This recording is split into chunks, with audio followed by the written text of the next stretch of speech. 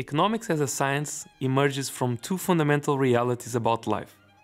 First, resources are limited. Second, they can be put to use for alternative uses. On one hand, it is a discipline that has a normative component into it. How should people act in order to maximize some goal? On the other hand, it is also positive in nature. How do people actually behave?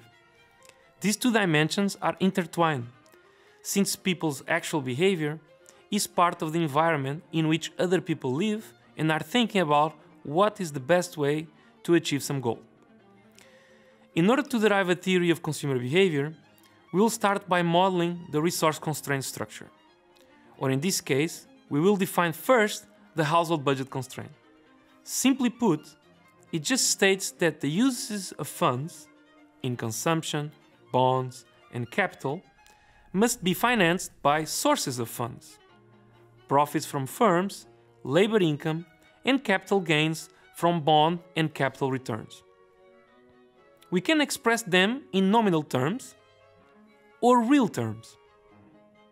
For now, we will abstract from money holdings and assume them to pay no return and be constant over time. As a remark, sources of funds did not equate the uses of funds. The constraining nature of the budget constraint just states that the uses cannot exceed the sources of funds. However, we assume that it is not optimal not to use available resources, as they can either increase your happiness from consumption or generate income for the future by the acquisition of capital or bonds. Now, the resource constraint give us the possibilities that households have in terms of using their resources, but it does not pin down how much to consume and save every period. There is an infinite combination of consumption and saving choices over time that satisfy the budget constraint. In order to be able to pinpoint consumption and saving choices, we will make some additional assumptions about household behavior, leading to the permanent income hypothesis a theory of consumption behavior proposed by Milton Friedman, Nobel laureate in 1976 for his contributions to consumption analysis and monetary history and theory. Let's start by looking at this table. That includes paths for income, consumption, savings, and assets.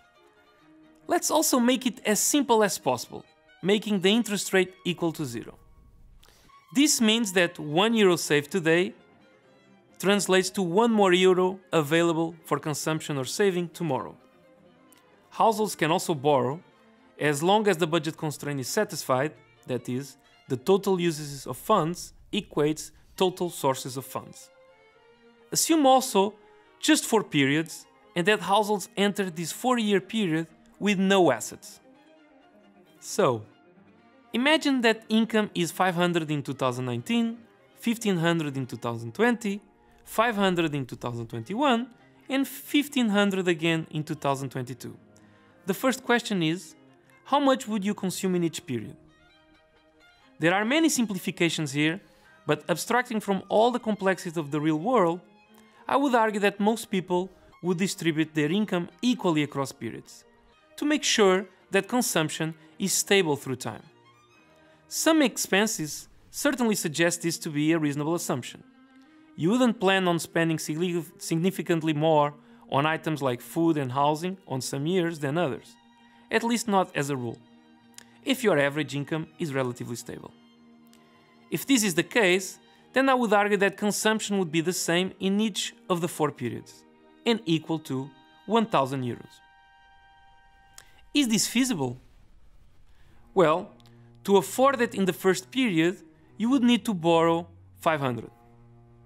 This means that saving in the first period would be equal to minus 500.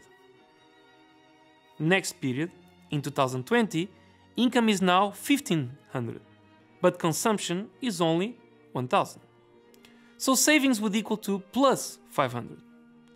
And the same for the next two periods. Does this satisfy the budget constraint? Well, to satisfy it with equality, assets must be zero at the end of the last period. this means that neither you spent too much nor you left any resources behind.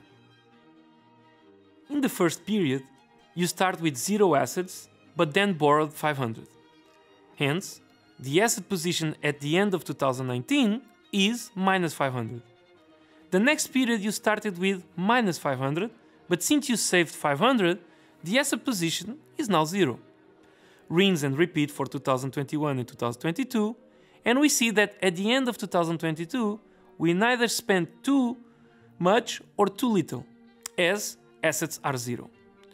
So, what do we derive from this? Well, first, the theory says that if you are allowed to use credit markets to borrow and lend according to your possibilities, consumption is equal to a long run average of income.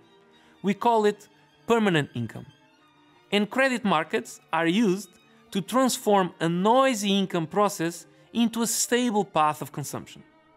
We call this consumption smoothing behavior. And this is at the core of practically all macroeconomic models that are used today. We will now look at things a bit more formally in the context of what we will describe as the life cycle model. In the 1950s, Franco Modigliani, another Nobel laureate for his work on the analysis of saving and financial markets, made the observation that people's saving behavior tended to have a life cycle component. People tended to borrow in their early years pay off debt, and accumulate wealth until retirement. And then dissave again in order to maintain stable consumption profiles. We will see why that happens in more detail. Assume agents derive utility from consumption, that is, that there exists a function u of consumption that maps the positive side of the real line to the real line, where the function is twice continuous differentiable. The first derivative is positive, which means more consumption always makes you happier. But the second derivative is negative, meaning that additional units of consumption in a given period will have decreasing returns. We will assume also that utility is additive, separable, and that agents have some degree of impa impatience. That is, they discount future utility at the ge geometric rate beta raised to t. This means that lifetime utility of a given path of consumption is just equal to the discounted sum of the utility of each period's consumption. Assume also that agents are endowed each period with income WT, live for uppercase T periods, and can spend their income on consumption CT or saving for the next period AT plus 1, on which they earn a per period gross return of capital uppercase R. The budget constraint is in any given period of the agent is then given by CT plus AT plus 1 equal to R times AT plus WT. Or in other words, what you spend on consumption plus what you save for next period must be financed by the assets you brought into the period accrued of the respective interest plus wage income. The optimization problem for the agent is then to choose how much to consume and save in each period, from 0 to uppercase T, subject to this budget constraint. To solve this, we use the Lagrange theorem and set up the following Lagrangian function. The fact that the objective function is continuous, strictly concave, and the domain is compact ensures both existence and uniqueness of the solution. We need to take first order conditions with respect to consumption, capital, and the Lagrange multiplier. Using the first and second equations, we get what we call the Euler equation, named after one of the most, if not the most, prominent mathematicians of all time, Leonhard Euler. The equation states that optimal consumption behavior implies that the marginal utility of consumption at a given period must equate the product of the subjective and market discount rates times the marginal utility of consumption tomorrow. Suppose that agents' time preferences and the market discount rate cancel each other. Or in other words, beta times R is 1. Then it says that I have to choose consumption amounts such that an additional unit of consumption today gives the same additional utility as an additional unit of consumption tomorrow. Given that the utility function is monotone, more consumption means always more utility, then it follows that consumption today equals consumption tomorrow. This is precisely the result we looked at the beginning. If allowed, households will use credit markets in order to transform a variable income process into a smoother consumption schedule. As a side note, it is important to mention that this is only true in general if the Lagrange multiplier is strictly positive, which means that the budget constraint is binding in every period. The economic interpretation of a strictly positive multiplier is that the marginal utility of relaxing the budget constraint by one unit is always greater than zero. This is trivially satisfied by our assumption of a strictly concave utility function. We know that optimal behavior will imply equating the marginal utilities of consumption across time, corrected by the product of the subjective and market discount factors. But at what level? In order to solve for it, we need to use the budget constraint, solve it with respect to consumption, and substitute it in the Euler equation. This will give the following equation. This is a second order difference equation in assets. Given a path for wages, two conditions on assets and some functional form assumption on utility, we can solve for the entire path of assets and then back out consumption. Let's assume, without loss of generality, that agents enter the labor market with no wealth and leave no bequests. That is, that A0 is 0 and that AT plus 1 is also 0. How can we solve for this then? First, guess some value for A1. Second, since we now know A0 and guessed A1, we can compute the implied A2.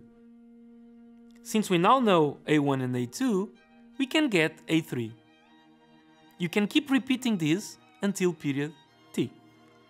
Now we have AT minus 1 and AT, so we can get the implied A uppercase T plus 1. Now, either A uppercase T plus 1 is 0, and our initial guess for A1 was correct, or it was not. If it was not, we need a new guess and repeat the process. In practice, the structure of this problem is such that it can be summarized as one equation in one unknown. Note also that we could also rewrite the sequence of budget constraints with only one equation. We call this consolidating the budget constraint.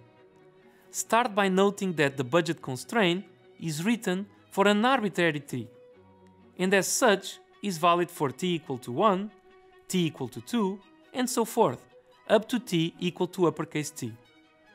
If we solve the second equation with respect to a2 and substitute in the first, we get that c0 plus c1 over r minus w0 minus w1 over r plus a2 over r equals r times a0. If we solve the third equation with respect to a3 and keep iterating, we get the consolidated budget constraint. Recall our assumptions of no bequests and no initial wealth.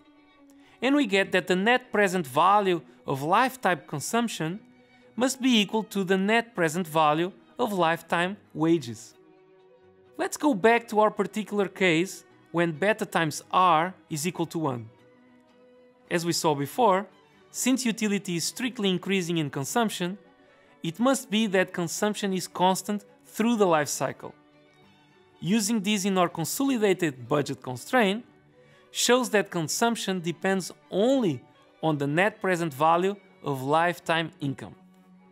Any combination of different life cycle wages, as long as providing the same net present value, will lead to the same constant consumption agents borrow and lend in the credit markets to transform a potentially noisy income process into a smooth consumption profile. They can do this because of complete markets. They can borrow and save as much as they need. Here we have four examples of wage life cycle profiles that have the property that all have the same net present value. We use the constant relative risk aversion utility function, a coefficient of relative risk aversion sigma of 2, a subjective discount factor beta of 0.96, and a gross interest rate R of 1.03. Many things of note here. First, note that consumption is the same regardless of the timing of the wages. This follows directly from what we had just found. Consumption depends only on the net present value of lifetime wages and not on the timing per se.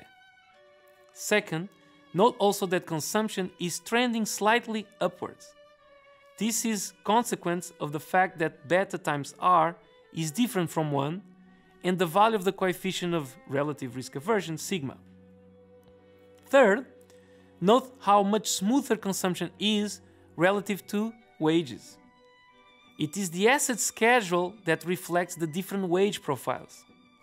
This conforms to the idea that according to the permanent income hypothesis, households use credit markets to borrow and lend such that they are able to transform a noisy income process into a smooth consumption profile.